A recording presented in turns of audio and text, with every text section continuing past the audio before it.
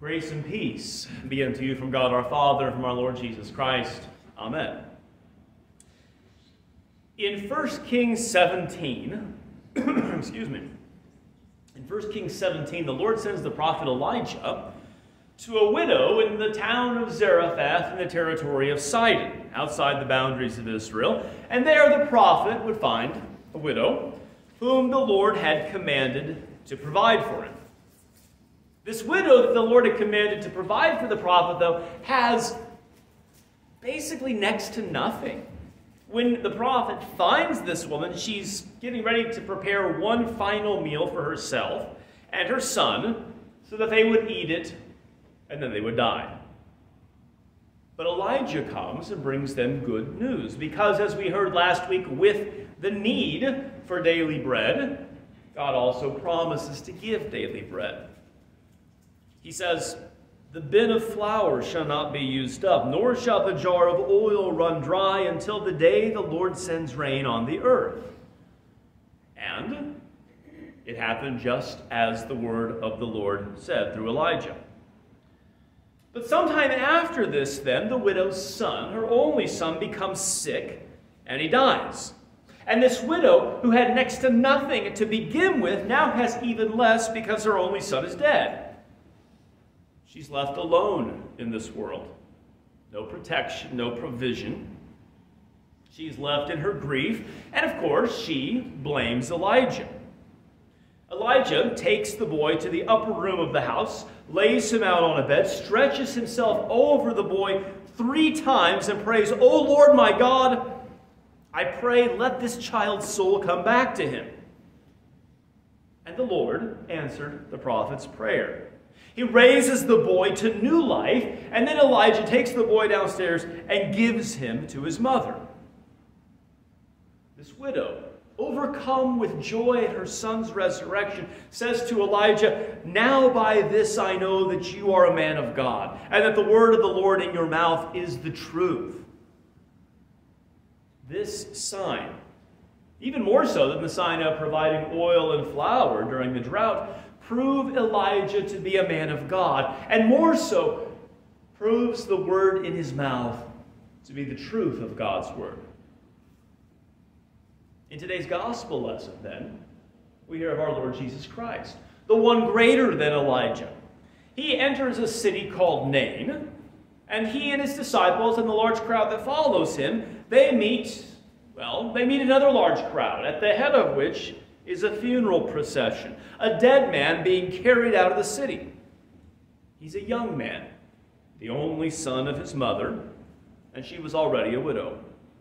She had married a husband, now she marries a son, and like the widow in Zarephath in the Old Testament, this woman is also then left alone in the world with no protection, no provision. She grieves the loss of her only son, the fruit of her former marriage, whom she, her husband, whom she loved with all her heart. The Lord sees this woman in her grief, and he has compassion upon her as he has compassion upon all who suffer love's lasting effects after death. He sees her great love for her son.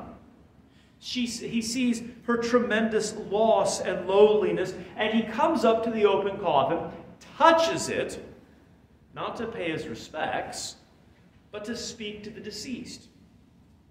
Young man, he says, I say to you, arise. Now, earlier in Luke 5 24, he had said this to the paralyzed man I say to you, arise. And now, he says this to a man who is not paralyzed, but dead. Arise, he tells them. And just as in John 5 25, he says, Most assuredly I say to you, the hour is coming and now is when the dead will hear the voice of the Son of God, and those who hear will live. That day was Jesus' day. This dead young man hears the voice of his Lord Jesus, and he comes back to life. He sits up, he begins to speak. Elijah, he had to stretch himself out over the dead boy three times and ask the Lord that he would resurrect him, body and soul back together. But Jesus, being the very Lord to whom Elijah prayed, needs none of this. He simply tells the young man, Arise. And he gets up, fully alive once again. Just as the widow of Zarephath, just as she knew that the words in Elijah's mouth were the word of the Lord so now the crowds, the two crowds that have now converged outside of Zarephath, now they say, A great prophet has risen among us, and God has visited his people. And God's visitation is one of mercy and is one of compassion. He is, as David says, a father of the fatherless, a defender of widows, and sets the solitary in families. He sees the wages of sin, death, and comforts those who mourn. He even says, Blessed are those who mourn, for they shall be comforted, not with the comfort of the world, but the comfort of Jesus. The peace of Jesus, which passes all human understanding, the peace of Christ, which is the peace of his resurrection. Not only is Jesus compassionate to those who grieve the death of loved ones, as he is compassionate to this widow, but he is the answer to the death of loved ones who die in the faith. He raises this young man from the dead with a word and reunites him with his mother. It is as he told Martha in John chapter 11, I am the resurrection and the life. He who believes in me, though he will though he die, he shall live. And whoever lives and believes in me shall never die. Jesus can say that, that he is the resurrection and the life, because as the Father has life in himself, so he has granted the Son to have life in himself. He doesn't borrow the life of God the Father, he has it in and of himself, so that he is the resurrection and the life. That's why his voice raises the dead. Elijah has to pray to God to raise the widow's son. But Jesus has no need to pray to the Father because he is the eternal Son of God. And he promises that all who die in him, in faith in him, though they die, they shall yet live even as this young man lived. He will raise them from the dead on the last day. And on that day, all who believed in Christ Jesus during their earthly lives will rise from the dead in glorified bodies like Christ's glorified body. This is what this resurrection in Luke chapter 7 reminds us of. It directs our thoughts to the last day. It directs our thoughts to Christ's resurrection and how he is the resurrection and the life for us and for all who believe. But it should also then remind us of the resurrection that happens to us in this life while we are still yet physically alive the resurrection from the dead that he gives to each of us in holy baptism. For we were born dead in trespasses and sins. And St. Paul writes in Romans chapter 6 Do you not know that as many of us as were baptized into Christ Jesus were baptized into his death? Therefore, we were buried with him through baptism into death just as Christ was raised from the dead by the glory of the Father, even so we also should walk in newness of life. For if we have been united together in the likeness of his death, certainly we also shall be in the likeness of his resurrection. Knowing this, that our old man was crucified with him, that the body of sin might be done away with, that we should no longer be slaves of sin. Baptism buries us with Christ Paul says. Our old Adam, the sinful nature, is drowned in those waters as God saves us by bringing us out through those waters as new men, as new women, as children of God. We rise out of holy baptism as the new man, as the new woman in Christ, no longer a slave to sin, Paul says, bound to serve our former master, but as slaves of righteousness to live before him in righteousness and purity. And although baptism is a one time event in the life of the Christian, we are to live in our baptism each day. We live in our baptism by daily dying to sin through repentance, by daily rising again in faith in the gospel. We do this by faith in his promises that he has made to us. Luther writes in the Large Catechism a truly Christian life is nothing else than a daily baptism, once begun and ever to be continued. For this must be practiced without ceasing, that we ever keep purging away whatever is of the old Adam, and that which belongs to the new man come forth. So we are to daily die to our sinful flesh. The old Adam in us must daily decrease, while the new man grows in strength. And then, on the day that we die, the old Adam, our sinful nature, will be buried for the final time. It is for this increase in the baptismal life, this increase in the daily life of the resurrection that Paul prays for us in today's epistle. He prays that God would grant you to be strengthened with might through his Spirit in the inner man, that Christ may dwell in your hearts by faith. He prays for you and for all of the baptized that they be strengthened according to the new man, the inner man, he calls him. And this happens, as we said, through the daily putting to death of sin, repenting of it, but also being rooted and grounded in love.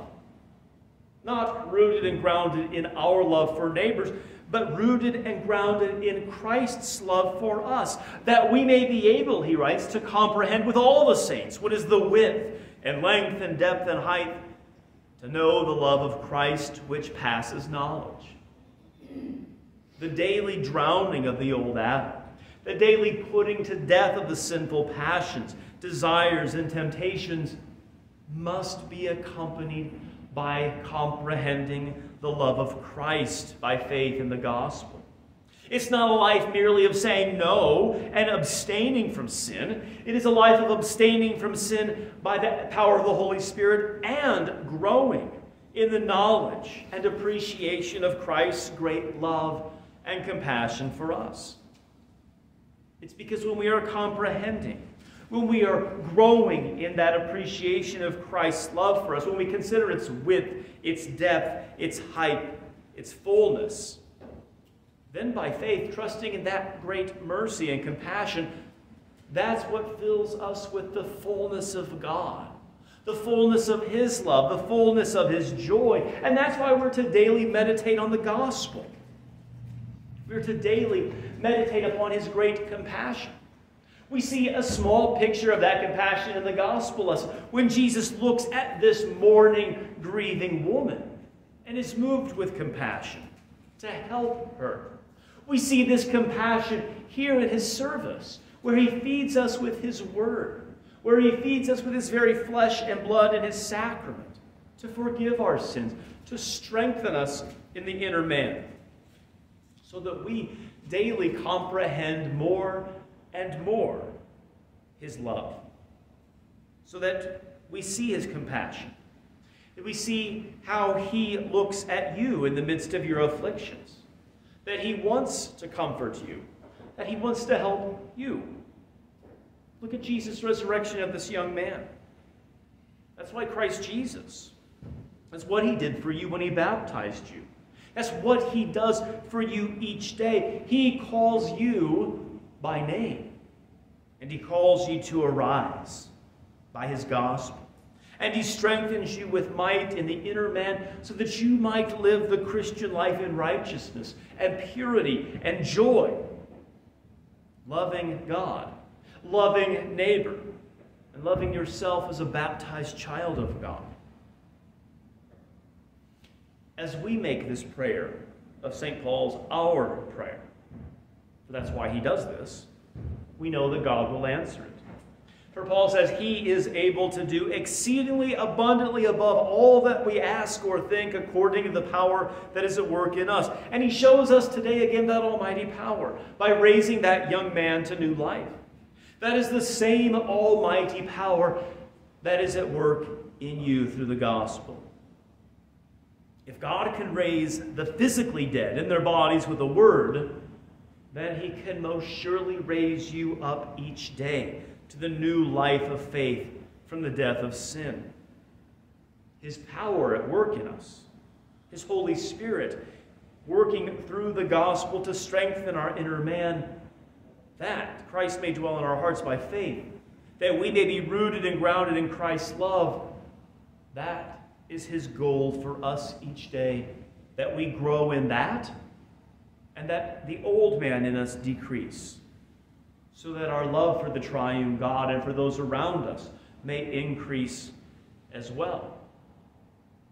And so we look forward to our resurrection on the last day and the resurrection of our loved ones who have died in the faith.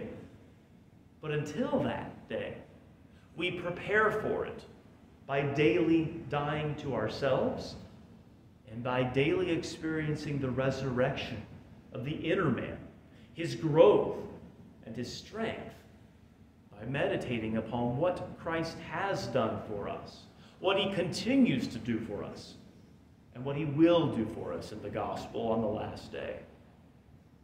Amen. May the peace of God, which far surpasses all human understanding, guard your hearts and minds through faith in Christ Jesus our Lord.